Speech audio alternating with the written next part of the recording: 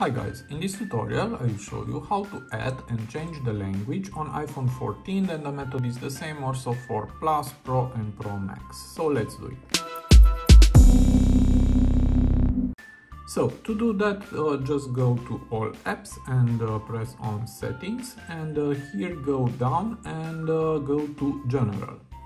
Here go down again and we have here language and region and uh, here we have preferred languages. Now we have only English and uh, to add a new language just press add language and uh, select your desired uh, language. I will uh, select uh, let's see Espanol from Spanish and here um, you can also change the primary language. If you want to use Spanish like primary language just press here and uh, now the language is changing.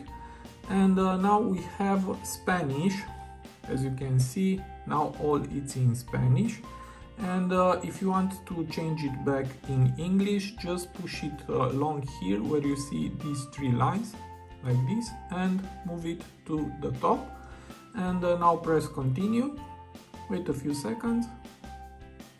And uh, now your primary language is English now if you want to delete a language, just press here on edit and uh, now press here on the minus sign, press delete and then just press done, press continue, wait a few seconds and uh, now you have only English on the language tab.